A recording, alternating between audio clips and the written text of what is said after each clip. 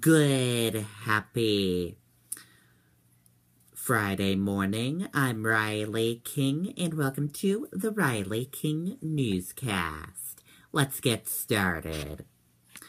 First up, gusty winds bring down trees and power lines.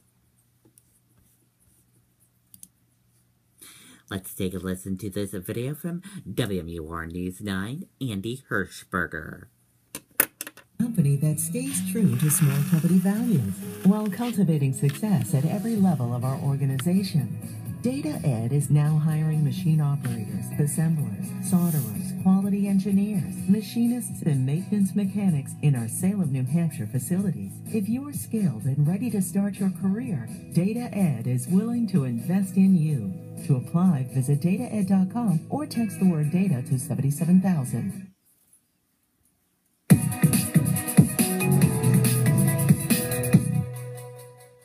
Sounded like lightning, just a huge bang. Lisa Sawyer says her teenage son was taking a shower upstairs when this tree limb came crashing through the ceiling. It was part of a huge pine that snapped and fell on the roof of their home in Windham. The ceiling came down in our dining room, and we had seen the tree that came down and ran upstairs, and all the whole side of the house was just every room was taken out. Nobody was hurt, but the damage was pretty extensive. It was the same story in Nashua, where a tree hit a house on Fenwick Street. High winds knocked over trees and snapped limbs, causing damage in several communities. This is what happened in Pelham when a pine branch took out a power line and closed part of Dutton Street. What else gonna happen to me? 84 year old Carolina Lavassieur was sitting in her kitchen with her friend Celeste Koulis when they heard a terrible sound. And we were sitting there talking, and all of a sudden, boom! And I looked up, and here I had my tree in my sunroom. She has a metal roof, so it was a big crash, and the wind was howling, so we were shocked. We were like, oh my god, look what happened. Both women are just happy they're okay, as is Lisa Sawyer. I'm still in shock, really. It only happened a little while ago, so I just want everybody to be aware and look at your trees, and we're very blessed, very blessed today. The cleanup work is already underway, and everyone that we spoke with today said that they are prepared to fix what was damaged. Reporting live in Manchester, I'm Andy Hershberger, WMUR News 9. Okay, and there you go on that report.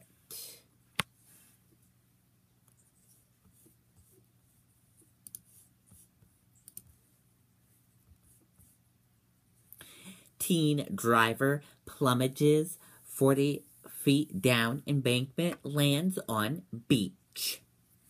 Let's take a listen to this video from WCVB.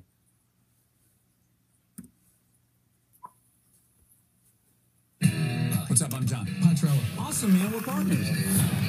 Pretty cool. Yeah? Being all suited up for battle. What, looking like UPS drivers? Super cool. Go brown, right? We gotta find the five dirty cops. We need to focus. Are you kidding me right now? I'm just like kind of powerless when it comes to yoga pants. Get you out of this parking lot. You have a visible erection. You got a legitimate lead. Oh, We have a suspect's head. That's a victory. nasty. I was trying to- just damn nasty. Chips. Rated R. March 24th.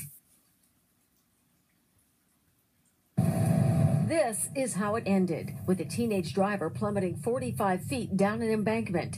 Police say it started when an officer spotted a gray Kia speeding across the Nahant Causeway. The officer attempted to stop it. It stopped the vehicle. It picked up speed and headed up here towards East Point. The chief says it's not clear when police stopped the pursuit, but officers found the car a short time later on its roof on the beach. The driver apparently had wound up losing control on 40 Steps Road took out a wire guardrail before tumbling down the steep hill. He's a 19-year-old male, and he's in stable condition. He's uh, he's uh, talking. He's alert.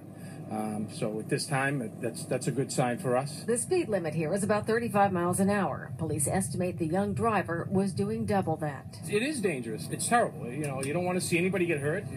Um, we're not in that business. No name yet on the young victim. He is at Mass General at this hour. He is expected to survive. State police are assisting in this investigation. Okay, and there you go on that report.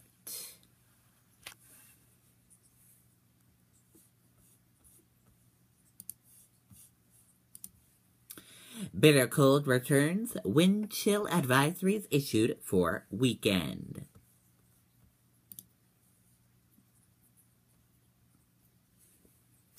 The National Weather Service has issued a wind chill advisory from midnight to Friday to 9 a.m. Sunday for central Somerset northern Franklin, northern Oxford counties in Maine, and Coos County in New Hampshire ahead of a very cold and windy conditions. Wind chills as low as 28 below zero are expected with temperatures 9 below to zero and wind gusts up to 35 miles per hour in the advisory area.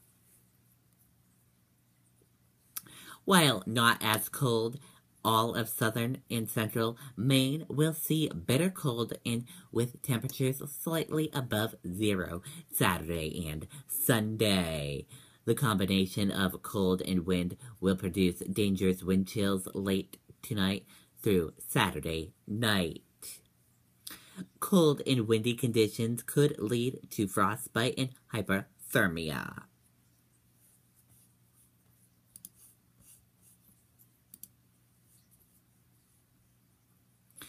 Even in weak market, Rachel buys Trump's profit for many Singapore landlords.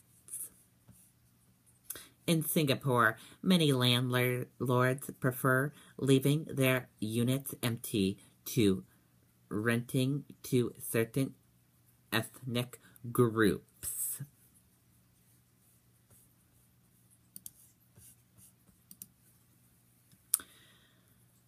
Hundreds of Al Qaeda contacts found in Yemen raid.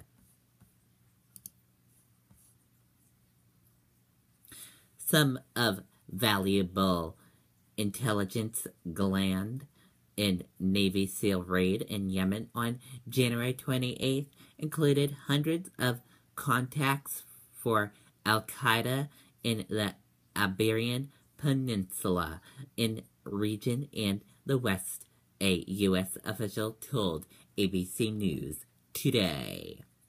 That does it for the Riley King newscast right here on the Riley King Network. I hope you all have a great rest of your Friday. See you back here later on today. Goodbye, everyone.